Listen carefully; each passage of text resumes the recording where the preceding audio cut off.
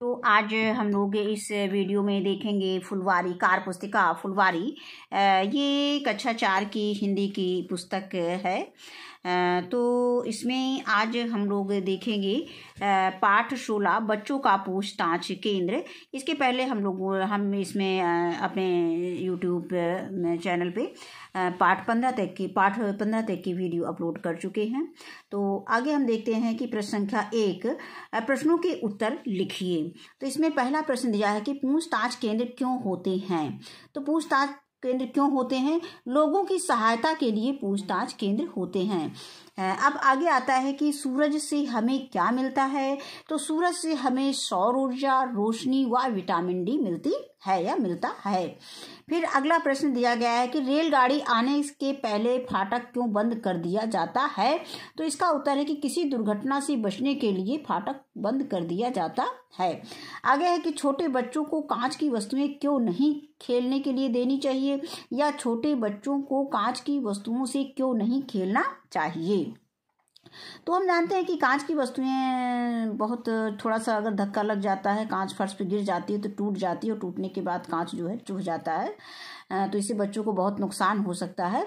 तो इसीलिए हमें बच्चों को नहीं देना चाहिए। तो इसका उत्तर हम इस तरह से लिख सकते हैं कि कांच की वस्तुओं के टूटने से उन्हें चोट लग सकती है। अब आगे आता है कि मिलान कीजिए, हेल्पलाइन नंबर दिया गया है, सहायता दिया गया है। ये 112 112 किसके लिए है? पुलिस हेल्पलाइन का नंबर है। फिर 102 आब्लिक 108 102 या 108 एंबुलेंस हेल्पलाइन के लिए है।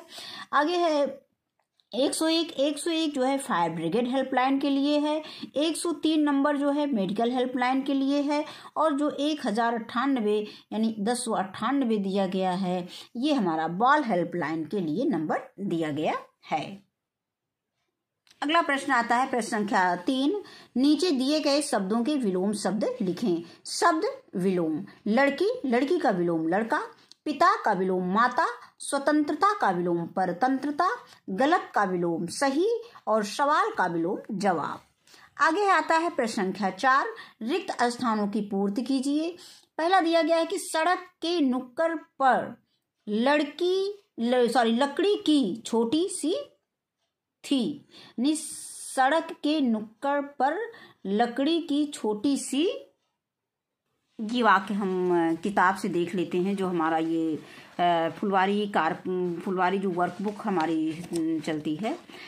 तो इसमें हम देख लेते हैं, यहाँ पे हमें यही वाक्य को फिल करना था कि सड़क के नुक्कड़ पर लकड़ी की एक छोटी सी दुकान थी। तो यहाँ पे थोड़ा सा लिखने में ये छूट गया था कि सड़क के नुक्कड़ पर लकड़ी की छोटी सी दुकान थी। आगे आता है अगला वाक्य दिया है, एक दिन एक चंचल लड़की चीची सड़क पर घूम रही थी। आगे है, चाँद रात में रोशनी देता है और सूरज दिन में, यानी चाँद रात में रोशनी देता है और सूरज दिन में देता है। पूछताछ केंद्र शर्त लगाने के लिए बंद है। अब आगे आता है प्रश्न संख्या पाँच। निम्नलिखित वाक्यों में विशेषता दर्शाने वाले शब्द पहचान कर लिखिए। अब आ गया तो यहाँ पे वाक्य दिया है, यहाँ पे विशेषण दिया है। तो वाक्य में दिया है कि राम और श्याम जुड़वा भाई थे। तो यहाँ पे राम और श्याम कैसे भाई थे? जुड़वा भाई थे तो जुड़वा शब्द क्या होता है? विशेषण बताता है।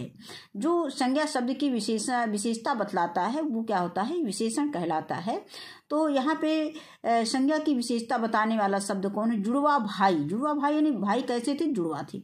अब आगे आता है, वहाँ एक छोटी सी दुकान थी। तो यहाँ पे दुकान कैसी थी? जो दुकान कैसी थी? तो दुकान ये छोटी सी थी। तो यहाँ पे छोटी सी जो है, हो जाएगा विशेषण। आगे दिया गया है, उनको तेज चिल्लाना पसंद नहीं था। क्या पसंद नहीं था? तेज।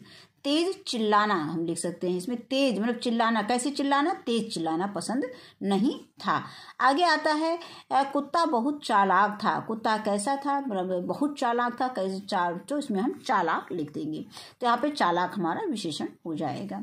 अब आगे आता है प्रश्न, वो प्रश्न संख्या अच्छा रेलवे लाइन पार करते समय हमें कौन कौन सी सावधानियाँ रखनी चाहिए?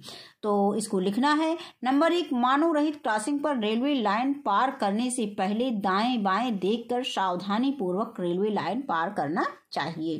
कहने का मतलब हम दाएँ बाएँ देख लें, इसके बाद हम थोड़ा सा आवाज़ भी देख लें, कहीं से हार्न तो नहीं आ रही है, सीटी तो नहीं आ रही है ट्रेन की दाएँ बाएँ सावधानी से इसे हम देख करके ही हमें क्रॉस करना चाहिए, क्योंकि ट्रेन कभी बहुत अचानक तेज़ी से आ जाती है प्लेटफॉर्म पे उस पर ट्रैक पर और सुनाई नहीं देता उसकी आवाज़। अब आगे आता है प्रश्न संख्या दो मतलब आगे हम सॉरी इसमें जो अगला वाक्य दिया गया है, दो, रेलवे फाटक बंद होने पर रेलवे लाइन पार नहीं करना चाहिए, बल्कि फाटक खुलने का इंतज़ार करना चाहिए। यानी जब तक फाटक ना खुले, तब तक हमें ट्रैक को पार करना नहीं चाहिए। आगे है कि जब रेलगाड़ी रेलवे लाइन पर दूर दूर तक दिखाई ना पड़े, तभी रेलवे लाइन पार करनी चाहिए। इसके अलावा भी जो भी सावधानी आपको पता है, आप इसमें लिख सकते हैं। और बस ये पाठ आपका यही ख़त्म होता है। वीडियो देखने के लिए आपको बहुत बहुत धन्यवाद।